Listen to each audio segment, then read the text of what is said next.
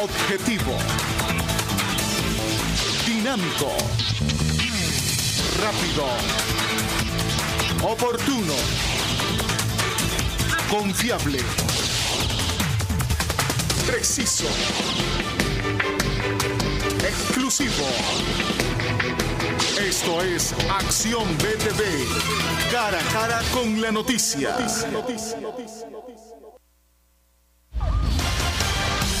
Encuentran decapitada a una joven de al menos 15 años en el sector Rivera Hernández. Torturan y luego le quitan la vida a una persona en la comunidad del Portillo en Colanchito Lloro. Capturan a seis presuntos pandilleros al momento que cargaban combustible para incinerar tres autobuses. Padres de familia ponen el grito al cielo al enterarse que tienen que pagar 550 lempiras porque sus hijos vayan a recuperación. Por exceso de alcohol habría muerto un ciudadano en la colonia Monterrey de Choloma, Cortés. En internacionales, Fidel Castro fue enterrado el domingo en Santiago de Cuba. Estoy más en Acción BTV cara a cara con la noticia.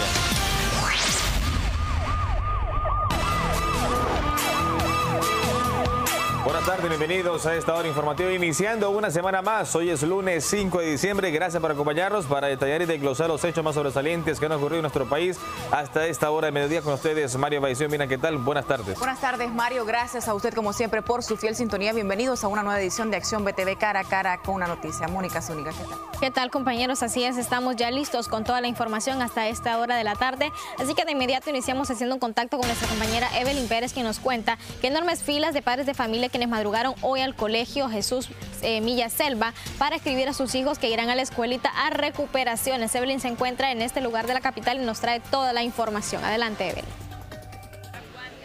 Buenas tardes compañeros de Acción BTV cara a cara con la noticia. Me encuentro en las afueras del Instituto Jesús Millaselva, donde una gran cantidad de personas se han apersonado hasta este lugar para poder matricularse en el programa Todos Podemos Avanzar TPA, que antes era conocido como la escuelita o las vacacionales, que son para los estudiantes que han reprobado sus materias y que van a aprovechar esta oportunidad para que ellos puedan aprobarlas y el siguiente año cursar el siguiente nivel podemos ver una gran cantidad de personas. Nos manifestaba el director de este centro que desde horas muy tempranas han estado todos aquí esperando un cupo para poder ser matriculados en este Instituto Jesús Millaselva. Podemos ver aquí las personas se han llegado desde muy tempranas horas. Buenos días, madres. ¿Desde qué horas está usted aquí? Desde las 2 de la mañana. ¿Por qué eligió este colegio? Es que me queda más accesible. ¿De dónde es su hijo o su hija que va a estudiar aquí? De Tatumbla. ¿Desde Tatumbla vienes aquí? ¿Cuántas materias ha reprobado? Dos. Sí. ¿Ahora usted está esperando un cupo para poder matricularlo ahí? Sí.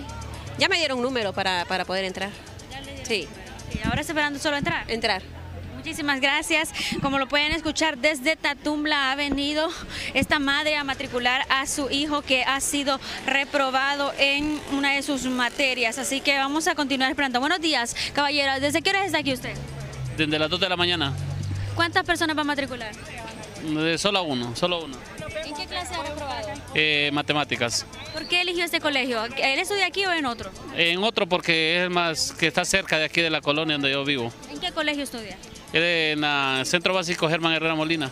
Muchísimas gracias, caballero. Ya lo han escuchado también. Matemáticas, una de las materias que más se están reprobando los estudiantes y hoy están haciendo fila todos los padres de familia para poder matricular a sus hijos. Buenos días, madre. ¿Desde qué hora se encuentra aquí? ¿Y usted desde qué hora está aquí? Desde las 3 de la mañana. ¿Por qué ha elegido ese colegio? Porque sí, aquí la tengo a mi hija. De... ¿Cuántas materias ha reprobado su hija? Una, solo matemáticas. Matemática, ¿esa es la, la clase que más conflicto le da a los estudiantes? Sí, matemáticas es la única. ¿Ya le dieron su número para poder ingresar? Sí, ya lo tengo.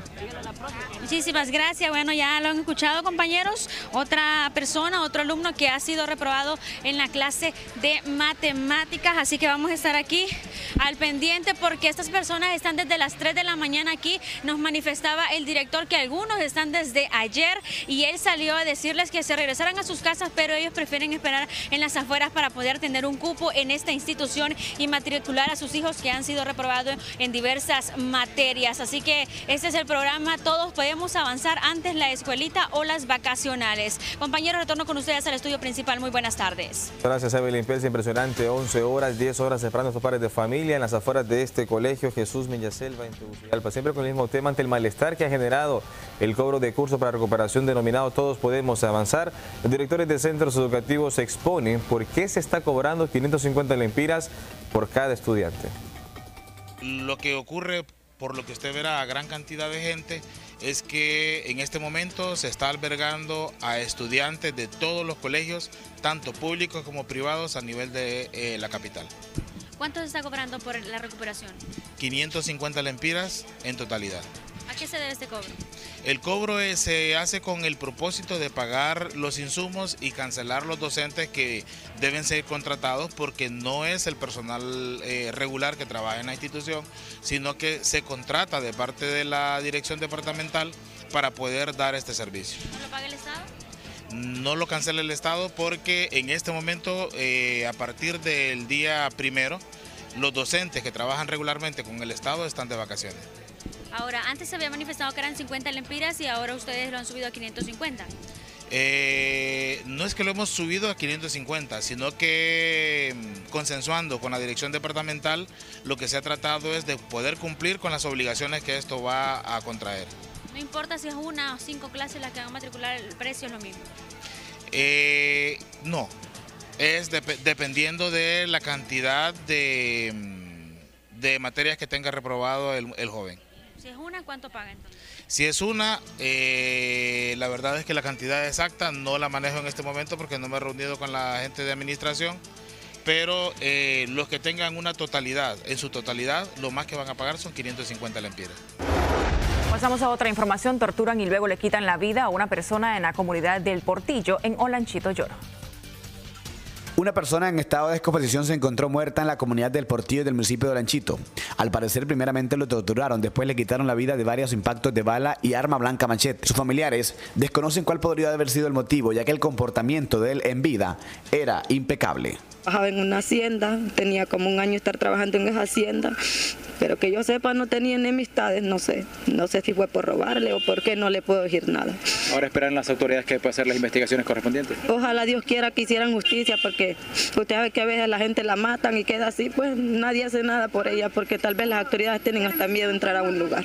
Ahora, vemos que él ya prácticamente su cuerpo está casi descompuesto. Pues, eh, ¿De qué forma van a hacer para poderle dar eh, sepultura lo más pronto posible? Pues supuestamente ahora mismo en la tarde, cuando lleguemos a las seis, vaya a estar la sepultura solo para enterrarlo. No, pues mire, yo no tengo más que decirle porque a mí solo mi hermana me llamó que lo habían hallado amarrado en la cama y muerto. No tengo más que decirle. ¿Usted no vive en el sector? No, nosotros vivimos todos acá en Ceiba. Solo él solo vivía cerca de una hermana, de una hija de él y, mi suegro que vivía ahí cerca. Lastimoso este tipo de casos. Es lastimoso porque la forma que lo hallaron es triste para nosotros. Sí, a sabiendas que ha sido una persona humilde que se acaba a, a trabajar de forma honesta. Exactamente, él trabajaba honestamente todo el tiempo. Sí. ¿Cuántos años tenía él de vivir en ese sector? Mire, nosotros vivimos ahí un buen tiempo, ahí en, el portillo número uno, pero después de eso ya tenemos 12 años de vivir acá en La Ceiba. Y él hace un año regresó a vivir al portillo, otra vez a cuidar esa hacienda. Para Acción BTV cara a cara con las noticias desde Olanchito Lloro, es un informe de Joel Vega. En la zona norte del país se encuentran decapitada una joven de al menos unos 15 años en el segundo campo, campo de la colonia 6 de mayo del sector Rivera Hernández. Lamentablemente en horas de la mañana nosotros recibimos una denuncia de lo que es el 911, en lo cual manifestaban que en la colonia Alfonso Lacayo, eh, exactamente en los campos de fútbol, eh, se encontraba una persona del sexo femenino. Eh, está en su totalidad decapitada, ¿verdad? Estamos saturando lo que es el sector para lograr recopilar información y dar con los responsables de este hecho. ¿Sería una jovencita? probablemente una jovencita logra observar de unos 14, 15 años. Estamos viendo en las imágenes que el cuerpo está en la parte de la cabeza como que habría quedado en el árbol arriba. Sí, claro, eh, ahí se puede observar, ¿verdad? Que los, los que realizaron este hecho pues eh, hicieron de la persona pues dos partes, ¿verdad? Dejaron lo que es el cuerpo en la parte de abajo y lo que es la cabeza sobre el árbol que está cerca donde está ella. ¿Cómo andaba vestida ella o andaba ya desnuda? Está desnuda, está semidesnuda, solo con, está con bloomer nada más. ¿Los vecinos no han manifestado algo, si la conocían o algo así cerca? Eh, no, eh, en estos momentos estamos indagando, estamos indagando, ¿verdad? Estamos recopilando, tratar de recopilar información, pues los vecinos eh, no la logran identificar, pero vamos a hacer lo posible para poder dar con los responsables de este hecho lamentable y vamos a estar pendientes de cualquier situación. En otros temas, una rastra cargada de serrín se accidenta en el kilómetro 11, carretera al sur del país. Un carro sí que lo sacó a la calle, el muchacho no, modelo la, la verdad no sé. Estoy ahorita aquí me hablaron que viniera a mover estos sacos. Venía bien cargado. ¿Cuánto, cuánto Mm. más o menos? Peso normal, 25 toneladas. Ya. Sí. Es peligroso este, esto, sí. No, no tanto así, lo, más que todos son los locos que andan en la calle, que lo sacan de la calle, los ¿Y camiones. dónde venía? ¿Hacia dónde iba? Yo lancho, va a biblioteca. Kimberly Ordóñez está lista para comentarnos de qué forma usted puede ganar recargas electrónicas. Feliz tarde, Kimberly, adelante.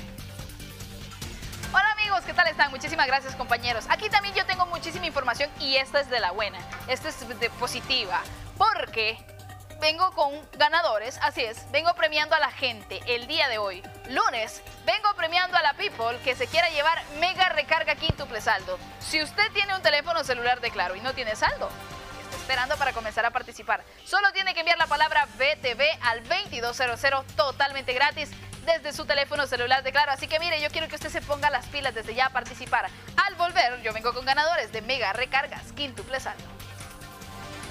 Con esto hacemos una pausa. Ya vamos a regresar con más noticias. Pero antes veremos Infobae en 60 segundos.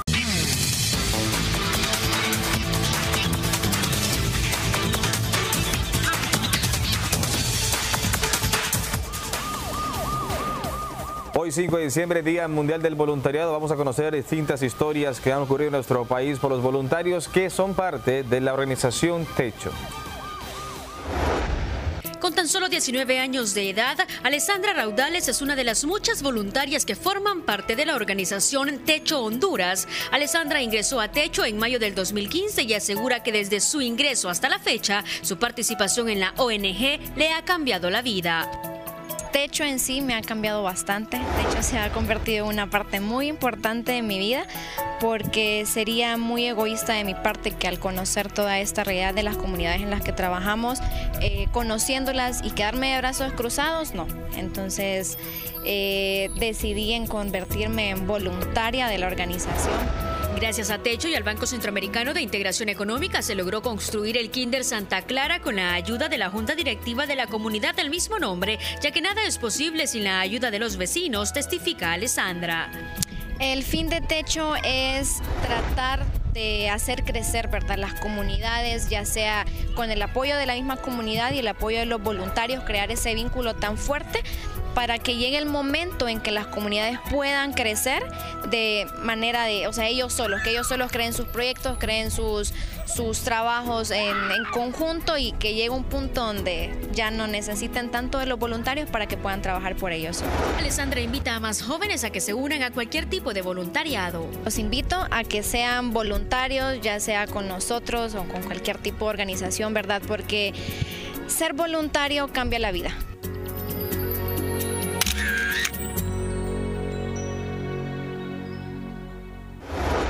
Cambiamos de tema. Autoridades del Tribunal Supremo Electoral llegan a la sede del Partido Libre para investigar sobre irregularidades en inscripción de tres movimientos de cara a las elecciones internas. Sí misma no es, no es copia, no es documento auténtico, no tiene validez. Por eso la ley exige las originales en físico y en digital. ¿Qué van a revisar, abogado, específicamente? Vamos a revisar si, es- si están acá las originales que fueron presentadas según lo que manifiestan en la misma solicitud que presentó el coordinador de Libre. ¿Solo en un movimiento o es en varios o en todos los de la misma inconsistencia? No, en, en tres de los movimientos que aparece que no cumplieron con la cantidad de firmas eh, eh, originales. La denuncia de estos movimientos, ¿qué contiene, en verdad? ¿Qué es lo que se les violenta a ellos? No, eh, yo desconozco la, la denuncia que cada uno de los movimientos haya presentado. Lo- yo lo que conozco es que al momento de, de inventariar el número de firmas que la ley exige para que un movimiento pueda tener derecho a ser inscrito y participar, pues no completan el número mínimo requerido. ¿Cuál es el número? Eh, el número es, es, eh, el 2% de la última votación en la elección general. Y por exceso de alcohol habría muerto un ciudadano conocido como El Caite en la colonia Monterrey de Choloma Cortés. Un muchacho muy amable, muy simpático. No sabemos cómo ha pasado esto porque en verdad es una, como se dice, una cosa inoportuna, una sorpresa que nos ha causado a nosotros. Eh, muchacho joven, trabajador y no sabemos qué ha pasado, sinceramente. ¿Cómo se llamaba él? Eh, creo que se llamaba Marvin Navarrete. Era aquí el sector de la Colonia Monterrey. Sí, de aquí mismo, de este barrio. Sí, y aquí vivía, aquí trabajaba con este señor. Sí. ¿Sabe usted de qué pudo haber muerto esta persona? Eh, son hipótesis, pero dicen que uno que se cayó, otro que pues andaba pasado de alcohol, eh, eh, otro, bueno, el forense determina eso, creemos, sí. Sí, ¿Él tenía alguna herida o algo al momento de encontrarlo? Yo, no le puedo decir nada de eso porque en verdad no lo he visto, yo cuando vine ya estaba así tapado. Es lamentable, un amigo suyo entonces. Sí, muy amigo, compartíamos tragos a veces por ahí y, y nos sentimos mucho, estamos dolidos todo el barrio. Sí, Era esto- amigo de parranda él. Sí, de todo, no, amigo de, de todos, de todos, sí, sí. Muy simpático, muy popular aquí, todo el mundo lo conocía. Y, Le y- gustaba beber bastante a él. Sí, sí, eso sí, sí, ¿para qué? ¿De cuál bebía más? Eh, le, le gustaba el, el guaro, o lo que, lo que hubiera. Sí, cerveza. Pasamos ahora a otros temas. Defensores de los derechos de los consumidores señalan que el salario mínimo apenas y ajusta para comprar la canasta básica. No solo alimentos, sino que como le digo, ¿verdad? La salud, que es básica, eh, es un derecho básico, eh, lo que es eh, la, alimenta- eh, la alimentación ya está, ¿verdad? Pero tenemos la educación, ¿verdad? Y tenemos las otras necesidades básicas que deben de incluir, eh, por las cuales pues con, con eso nosotros eh, eh, como seres humanos eh, necesitamos, ¿verdad? Para vivir. Sea que, doña Gloria, estas negociaciones que hacen salario mínimo solo incluye comida, entonces entonces queda fuera las demás cosas. Bueno, según se- se hemos, hemos sabido, ¿verdad? Se ha negociado en base a 30 productos que eh, también los precios ya estaban bien, bien obsoletos ya el precio porque ya a tiempo no hacían una, eh, unos monitoreos de precios. Por eso la- hasta la- el COE dice son 5 mil y fracción, ¿verdad? Para, para la canasta básica de alimentos, pero eh, porque ellos en base a 30 productos y que los precios ya están ya viejos, ¿verdad? Entonces nosotros tenemos nuestros propios monitoreos de precios que están actualizados, ¿verdad? Pero también no solo la alimentación es necesidad básica, sino que lo demás también. Ahora, entonces, ¿cómo hacen los hondureños para pagar transporte, salud, educación, vestido? Entonces, ¿cómo? Bueno, la verdad es que, mire, los pobres vivimos a puro milagro, ¿verdad? Porque imagínense cuántas necesidades tenemos que accesar, ¿verdad? Entonces la gente anda rebuscando de cualquier manera, unos buscando eh, en los basureros hasta para alimentarse, ¿verdad? Eh, y pues eh, buscando trabajos por aquí, por allá, ¿verdad? Y ahora el, el empleo está demasiado escaso, ¿verdad? Entonces, eh, hay, por eso hay mucho eh, problema social también. Madrugan y se van cuando cae la noche. Esta es la realidad de los vendedores ambulantes del Zonal Belén. Estos comerciantes esperan que durante esta temporada de Navidad mejoren sus ventas. ¿Qué es lo que vende usted? Platos, soperas, colas, ganchos, ¿Qué más?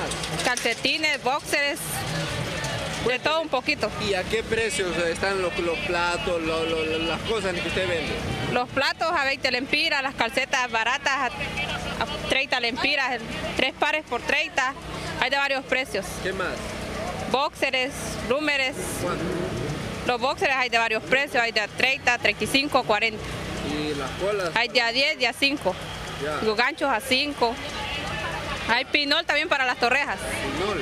Sí. ¿Qué más tiene? Pinol a 25 lempiras el pinol. Esta la gente, pues. Sandalias, hay de varios precios, hay sapos a 100, sandalias a 50, 40. Mire, de esta la tengo hasta 220.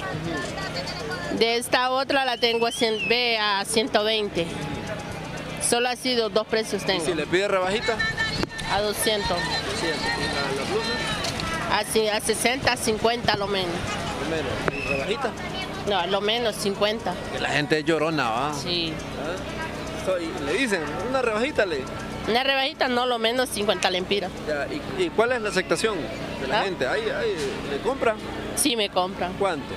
En vez me llevan una ligra, una camisa, ahí son 250. ¿Cuánto se hace al día? Mis 500, 600, 800 pesos. Cuando está bueno, mis mil pesos. En otro tema, 75 millones de dólares para obras de infraestructura presta el Banco Interamericano de Desarrollo al gobierno de Honduras. Ministro, el monto de préstamo son 75 millones de dólares. Eh, el, el 40 por- el 60% de ese, de ese préstamo es una tasa de interés de 1 1,25, 1,35, no recuerdo exactamente la tasa, 1,35 a 30 años y el 40% del préstamo es a una tasa de 0,25, o sea, eh, menos, un, cuarto menos de un, de un- de un 1%, un 75% menos de un, de un 1% a 40 años. Es decir, que esos, es- este, este porcentaje de este 40% el Estado de Honduras no lo repagará hasta dentro de 40 años. Y lo único que pagará o sea, durante 40 años no tiene nada que pagar. Y lo que pagará dentro de 40 años será el capital prestado más un 0.25 de interés, que es realmente una tasa fantástica. Ojalá yo la tuviera para mi casa. Hacemos una pausa a la información. Enseguida regresamos con más noticias. Ya vamos a regresar.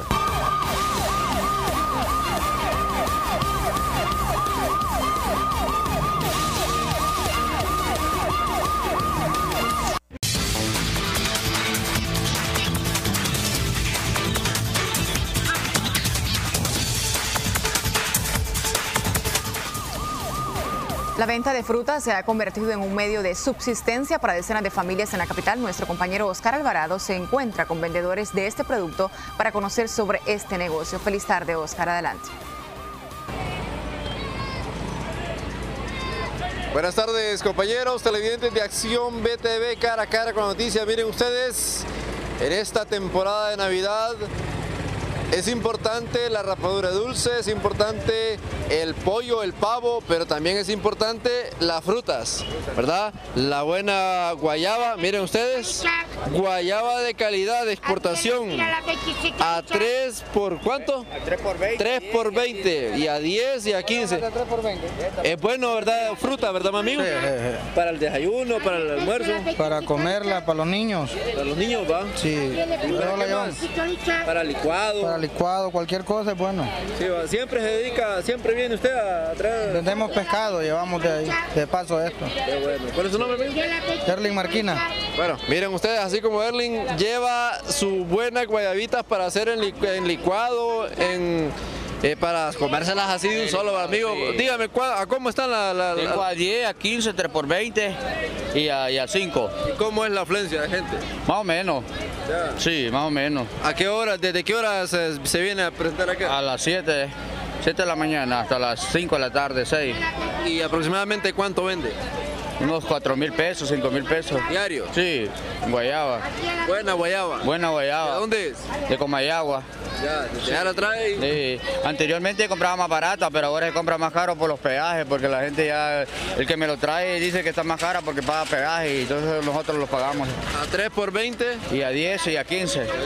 Sí. Bueno, miren ustedes, ¿cuál es su nombre? Dígame. ¿Cuál es su nombre? José Álvarez. José, bueno, miren ustedes, también las lichas, si el que quiere chupar licha tempranas horas, en la mañana, en la tarde o en la noche, también a 25 la licha, amigo. Sí, a 25 pesos está. ¿A cuánto más o menos? ¿Cuánto menos? No, ese es el precio menos ya. Es el precio. Y, y la gente bien se acerca, viene. Sí, se acerca. Se acerca, y en vez de se acerca y en vez de no se acerca. ¿Cuál es su nombre, amigo? Edwin Agustín. Bueno, miren ustedes, compañeros televidentes, aquí están las lichas, también las guayabas, así que las mandarinas y todo lo que usted pueda requerir para una rica ensalada de frutas. Eso lo encuentra solamente en el Zonal Belén de Comayagüela. Con esta imagen, mire, rica licha, ¿eh? Licha de exportación. Mire, mire la licha. la 25 licha. A 25 a la licha, 25, 25, 25 a la licha. 25 licha. Mire, a 10 las 25 lichas. Con ustedes, al estudio. Buenas tardes. Buenas tardes, Oscar Alvarado. Muchas gracias por esta información que nos ha traído desde el mercado zonal Belén. Ahora pasamos a la zona norte. Los vecinos de la colonia 6 de Mayo ya no aguantan las enormes pozas que se han formado en la calle principal. Está peligroso es ahí, que hay gente que hay gente que se mete ahí, dice. Y ahí está profundo, ¿ah? Sí, sí. Peligroso, un carro se quede ahí. carro se quede allí, sí. Los otros días una señora se cayó allí y ya estaba ahogando más bien y la auxilié yo. Sí, mijo, aquí nosotros estamos abandonados. Las autoridades municipales no se han hecho Tú ni presentes. mus, ni tú ni mus, somos como somos pobres, pero si fuéramos ricos, eh, ya lo hubieran venido a arreglar aquí bien, mijo. ¿Para qué negarlo? Los Sí. carros tienen que tomar otras rutas. por Sí, así es. Como hondureños que somos, debemos de, de mirar a la gente pobre que como vive en sus casas, hay en esas calles tan feas. Sí, mijo. ¿Cuánto tiempo tiene estar así? Eso ya tiene como, como tres meses, sí, como tres meses. Cuando empezó a llover, eh, se Y esa puso... presa ya dejó de llover y sigue inundado Sí, ahí. sí, sí. Estaba bien lleno de agua todas esas pozas, por eso no pasan los carros por aquí, pasan por allá y vienen a dar vuelta acá. Espera que le solucionen esto. Sí, sí, claramente que sí, como hondureños que somos, Yo necesito que vengan a arreglar aquí estas calles. Mire qué horrible está esa calle, ay no. Está horrible esa calle, ¿Todos los días tienen que sufrir eso? Todos los días. Tenemos que andar ahí buscando la forma cómo pasar porque mire, ahí no se puede pasar. ¿El país se queda atorado ahí? No, no, se, mire los rapiditos, todo el mundo anda por todos lados.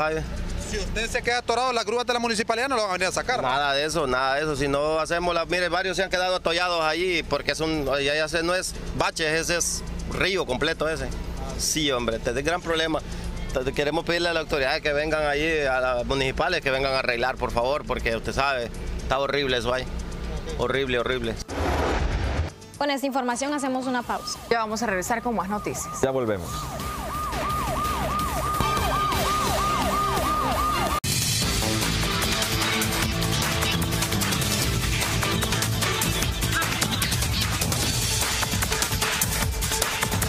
Seguimos con la información. Capturan a seis presuntos pandilleros al momento que cargaban combustible para incinerar tres autobuses.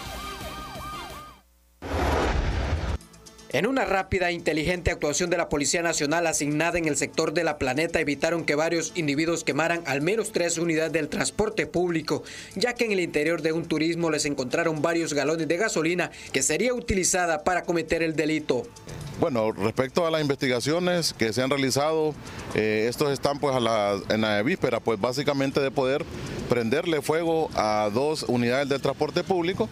Se están haciendo todas las diligencias correspondientes para poder llegar a determinar básicamente si ese era el fin común o directamente pues otro, otra consecuencia por lo que se ha encontrado por el recipiente lleno de combustible, en este caso de gasolina. Había un croquis también, comisario, ¿no? Efectivamente, se ha encontrado un croquis eh, de las órdenes prácticamente que ellos han recibido para poder pues eh, realizar este tipo de actos eh, vandálicos ilícitos en contra del transporte público, en este caso en San Pedro Sula, los cuales responden a los nombres de Gerson Daniel González, de 18 años, Jorge Luis Pineda Fernández, de 20 años, Daniel Otilio Cerrato, de 21 años, Darwin Gerardo Ortiz, de 24 años, Jairo Naún Cálix, de 23 años, y William Ramón Rodríguez, de 21 años. En dos vehículos con reporte de robo se trasladaban la media docena de personas, quienes además portaban varios objetos ilícitos, como ser chaleco antibalas, municiones y varias libretas de ahorro. En uno de los vehículos se ha encontrado un recipiente que contiene 5 galones de combustible, supuestamente gasolina, un chaleco de uso policial con la leyenda de la policía de DPI, lo que respecta a seis eh, tarjetas o cuentas bancarias que están eh, debidamente pues consignadas de acuerdo a montos superiores de los 50, 80 y 30 mil empiras. Y esto respecta básicamente a una investigación que se realiza constantemente para verificar si estos eh, en otro lugar pues tienen eh, en otras condiciones armas de fuego porque se les ha encontrado munición de R15 y M16. Los detenidos fueron puestos a la orden de la Fiscalía de turno, quienes serán los responsables de hacer los respectivos requerimientos.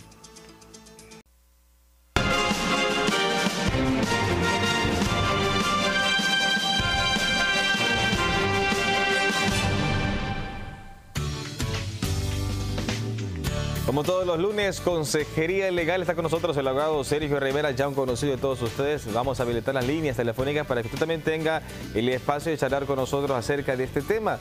El tema será el divorcio. Un matrimonio no se realiza para que se haga un divorcio, pero existe esta figura legal también a conocer todo este proceso. Si usted está padeciendo de, eh, de esta ruptura y no sabe qué medidas hacer legalmente, pues aquí se la vamos a aclarar todas las falencias que tengamos acerca de este tema legal. Abogados, gracias por, por estar con nosotros y un tema que no nos gustaría tocar, pero existe. Así es, Mario, muy buenas tardes, encantado de estar nuevamente con ustedes. Y como bien lo decías, el divorcio es un tema bastante delicado, un tema eh, muchas veces complejo dependiendo de la forma en que se disuelve el vínculo matrimonial, pero, pero que la figura existe precisamente porque es una probabilidad. Entonces, de- el de las divorcio uniones es familiares. la disolución completa del matrimonio. Así es, así es, en esas palabras. Es la disolución del, vínculo matrimonial, eh, por lo tanto, de los derechos y obligaciones que, eh, emanan de ese misma entre la pareja, pero no para con los hijos cuando existen. ¿Es un proceso Es- es bastante engorroso aclararlo. este el divorcio? Es un proceso engorroso porque eh, existe mucha problemática eh, en- actualmente en, en Honduras. eh, la familia es algo que se está deteriorando bastante. Hay, hay algo, es algo a lo que hay que prestarle bastante cuidado. Y producto de ello, eh, los tribunales de justicia están bastante saturados de trabajo en materia de familia. Entonces los procesos tal vez en sí están diseñados para llevarse a cabo en tres meses, pero se prolongan muchísimo más que Es decir, hay gran demanda de hay, hay una gran cantidad de demandas de divorcio. Muy bien, vamos a comenzar, bueno, desde el génesis de este aspecto legal. ¿Cuál es el primer paso para llevar a cabo un divorcio? Ok, el primer lugar es muy importante que la persona, ya sea el, el esposo o la esposa, esté seguro de lo que va a hacer. Esté seguro de lo que va a hacer. Y de eso hay que identificar una de las causales para la disolución del matrimonio. Esta puede ser infidelidad manifiesta, esta puede ser eh, violencia doméstica, esta puede ser eh, violencia intrafamiliar también, o, o puede ser que simplemente ellos ya no, no pueden convivir. Cuando se habla de investigar, es el rol que le toca al abogado si la persona todavía no, por temor, solo dice, "Puedo- quiero el divorcio, pero no dice la causal. Es importante definir la causal, porque si no hay causal, sucede lo que hablábamos detrás de cámaras. Solamente nos queda la separación de hecho, que es un proceso que dura mucho más tiempo también, y son dos años previos al- a poder optar al Ah, sí. divorcio. Es correcto. Una vez que se inicia un proceso de separación de hecho, van a transcurrir dos años para que eso pueda ser apelado como causal de divorcio. Porque en ese proceso de dos años se espera de que las personas puedan de alguna forma reconciliarse. eh, Un ver tiempo de discernimiento, eh, Un tiempo de discernimiento, es correcto. Así- no así- es la disolución del matrimonio, solamente es una separación de, la- las dos personas. Y yo entendía que podría estar en- dentro del mismo hogar y no es así. Pueden estar dentro del mismo hogar si, si se aguantan, ¿verdad? Sí, ¿no? si no, pues cada quien por su lado. Pero sí es importante, en primer lugar, eso, definir la causal Del de divorcio. el divorcio. Una vez que tenemos la causal, todo eso es o mucho más fácil o mucho más complicado. ¿Por qué?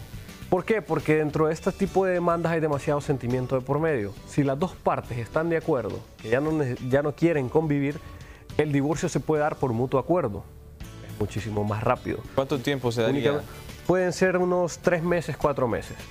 Entonces ellos se presentan ante la juez o el juez y, y manifiestan de que ya no quieren convivir en matrimonio. Ambos firman la solicitud del divorcio por mutuo acuerdo y es un proceso expedito. Perfecto, tenemos la primera llamada telefónica de esta tarde. La escuchamos, adelante. Buenas tardes, a todos. Buenas tardes, abogado. Muy buenas tardes.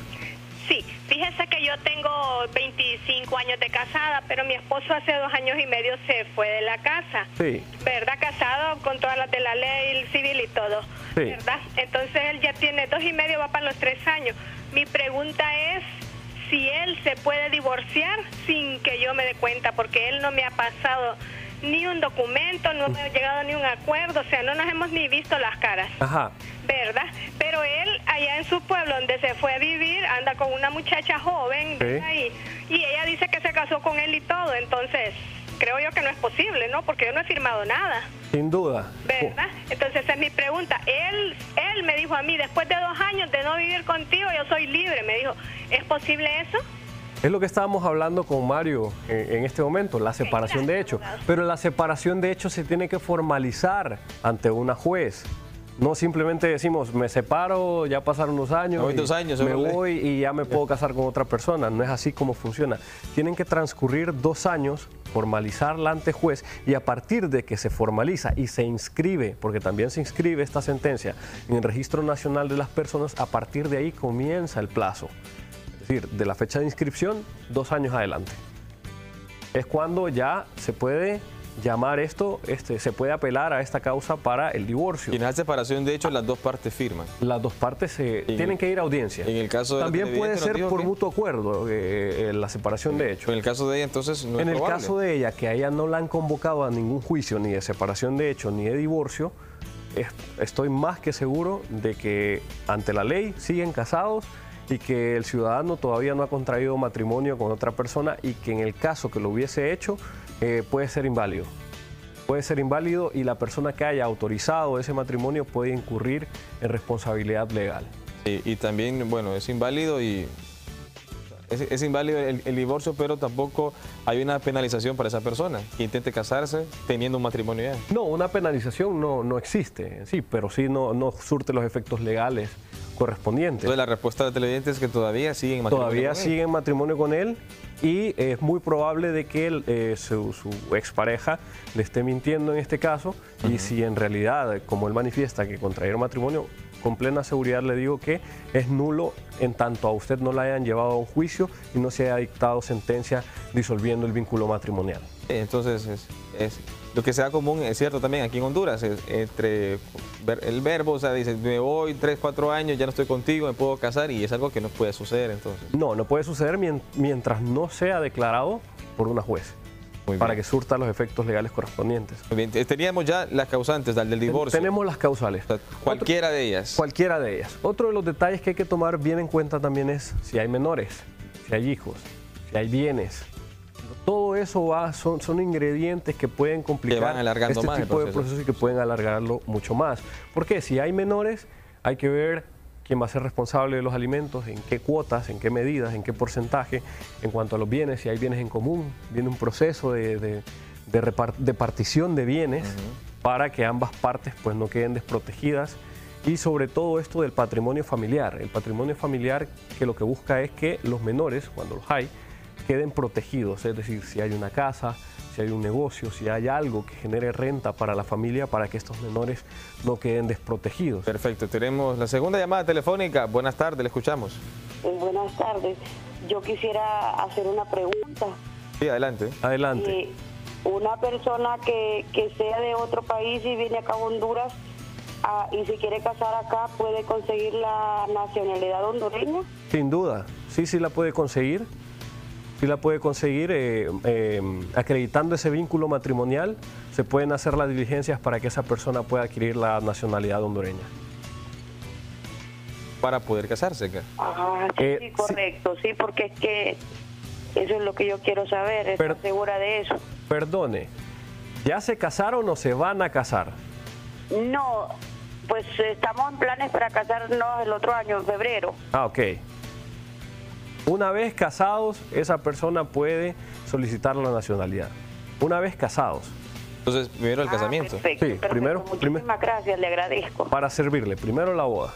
Primero el casamiento y ya luego Primero la- el casamiento y después ya se puede solicitar la, la ciudadanía. Muy bien, la estábamos- nacionalidad, perdón. Estamos hablando del, del divorcio cuando ya hay bienes materiales, ya hay hijos, también como la protección de estos menores. Es correcto. Y en el caso de que una de las partes no quiera ponerse de acuerdo, no quiera dar los bienes que él tenga, ¿qué viene en el divorcio? Todo eso ya está siendo sujetado en la demanda a la apreciación de la juez. Se presenta la demanda por vía de un proceso abreviado. Es una sola audiencia. En esa audiencia ahí se evacúan todo, el- todo el tema con todos sus detalles, es decir, eh, la patria potestad. Esto va a depender de la causal de divorcio. Por ejemplo, si es por violencia doméstica, es muy probable que la persona que estaba cometiendo ese delito se pueda quedar sin la patria potestad de los hijos. Igual la guardia y custodia. Eh, por la otra parte también, eh, con quién van a convivir los niños, producto de esto mismo de la guardia y custodia, con quién se quedan, eh, cuál va a ser el porcentaje de alimentos que la persona que sale del hogar... Sí, de la protección a todo esto, a los menores. A Otra los llamada menores, telefónica. Buenas tardes, le escuchamos. Aló, buenas tardes. Buenas tardes, Eh, dice que quería hacer una consulta al abogado. cuéntenos. Eh, tengo una niña que está ahí en Estados Unidos, se fue con sus dos niños. Ella aquí estuvo casada con su eh, es el papá de sus hijos, Sí. pero se separaron porque él le fue por infidelidad. Él actualmente está con la muchacha y tiene una niña con, con, con ella. Y mi amiga se fue para los Estados Unidos y nunca se divorciaron. Entonces ella quiere saber cómo se puede, cómo puede hacer para divorciarse de él. Ok, entiendo entonces de que el, el- el- el papá de las niñas, que, que está ya con la otra persona, eh, ya tiene una vida aparte, la otra señora está en Estados Unidos. En este caso lo que yo les recomiendo es, si ellos tienen comunicación, si ellos logran ponerse de acuerdo, es que interpongan una demanda de divorcio por mutuo acuerdo. Eh, la persona que está en Estados Unidos perfectamente puede hacerlo a través de un representante legal, no necesariamente tiene que comparecer, pero sí tiene que acreditar bien un poder y girar esa instrucción precisa ¿verdad? para poder comparecer ante el juzgado de familia para tratarlo del vínculo, eh, la disolución del vínculo matrimonial. Entonces, si, si lo logran hacer por esa vía, sería lo ideal porque es menos complicado tomando en cuenta de que ella está en Estados Unidos y el otro señor está aquí. Entonces, al momento de la audiencia, si no se ponen de acuerdo, va a ser mucho más complicado. Bueno, ahí estaba la respuesta. Esa es la vía más fácil o más rápida. Están las otras, pero porque, por la Por distancia supuesto, también. por la distancia, porque si no le tocaría venir a ella a la audiencia. O venir ella a interponerla. Exactamente, algo distinto. y si no puede, mucho- pues ya se complica todo. Muchísimo más costoso. Eh, eh, quedémonos en este caso, si no están de mutuo acuerdo, en el caso de que él está allá y él no puede regresar al país, ¿qué otra vía hay para hacer el divorcio? Bueno, el divorcio se interpone, uno señala cuál era el último domicilio de esta persona. Hay formas de poder notificar, es decir, si puede ser una notificación personal, si la persona no se encuentra puede ser una notificación subsidiaria, es decir, estaba, no estaba él, pero estaba la madre. Yo le dejo la notificación para que vaya a la audiencia. Ok, listo. Y él no viene a la audiencia, Pierde. pierde, pierde su derecho a defenderse y la juez me va a declarar con lugar. Perfecto, vamos ahora con otra llamada telefónica. Buenas tardes. Buenas tardes. Muy Sí, buenas adelante. tardes. Quiero una consulta con el abogado. Adelante.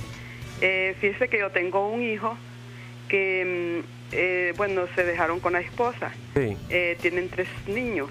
Mm. Y ella vinieron al juez y el juez le dijo de que para sacar los niños de, del lugar tenía que confirmarlo y con un permiso de mi hijo.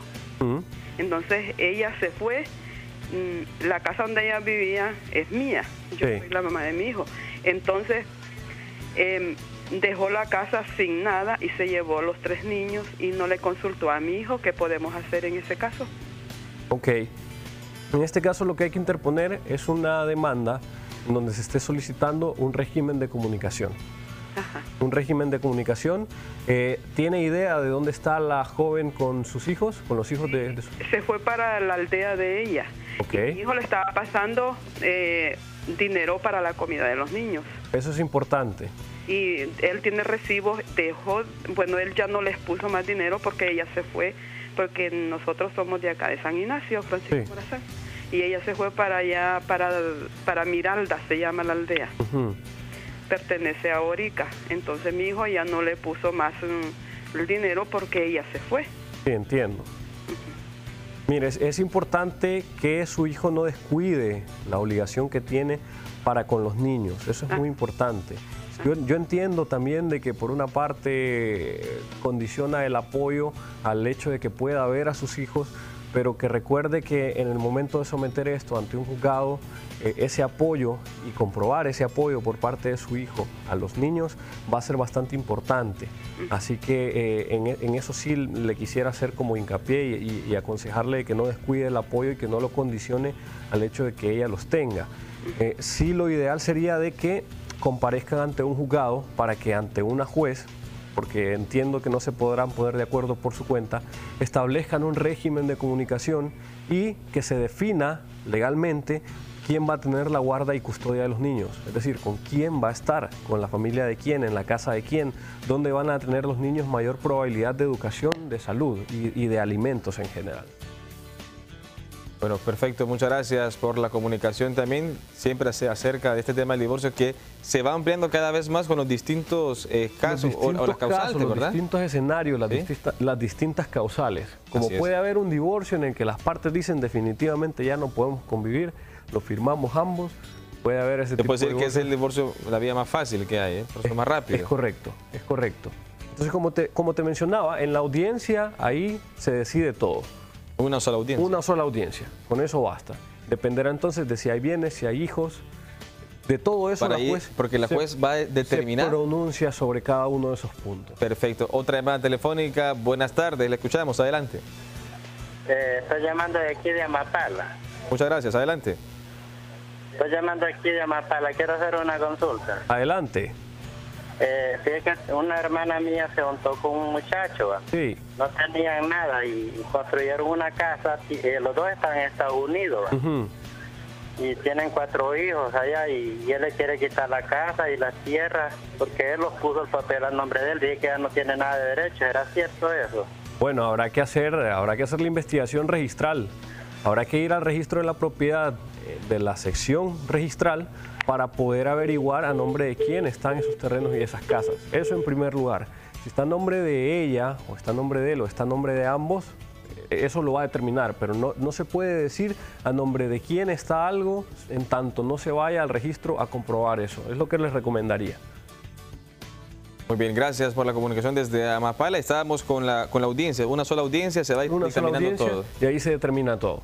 Por ejemplo, en algunos casos, en la mayoría de los casos, eh, la guardia y custodia se la dan a la mamá. La mayoría, sí. En la mayoría de los casos, a menos que se compruebe que, que, que es una persona violenta, que es una persona que los golpea, que los maltrata, que no los atiende. Salvo, esa, salvo esos casos, en la mayoría de eh, se queda con, la madre. Con la madre. Este tema es muy extenso, serio, pero para ir haciendo una conclusión general acerca del divorcio de los televidentes. Bastante extenso es el tema. Yo lo que le recomendaría a la gente es que esté segura del paso que va a dar, así como en el momento que se iban a casar, tuvieron que pensarlo, tuvieron que meditarlo. Yo creo que nuestro país en general sufre de muchos problemas sociales debido a la desintegración de la familia y es importante que cuidemos esa institución. A partir de ahí los, los hijos, los niños, los ciudadanos salen con valores, así que es importante que la gente, no solamente las parejas vean por su bienestar, por qué me conviene a mí o qué le conviene a la otra persona, sino por los niños, más cuando hay niños que lo piensen muy bien y que identifiquen en primer lugar de forma rápida cuál sería esa causal de divorcio para que se pueda proceder. Perfecto, muchas gracias al abogado Sergio Rivera por acompañarnos en esta tarde en Consejería Legal. También a ustedes por sus llamadas y por su atención. Nos vemos en punto de las 7 de la noche con Acción BTV, cara a cara con la noticia. Que tengan muy buenas tardes.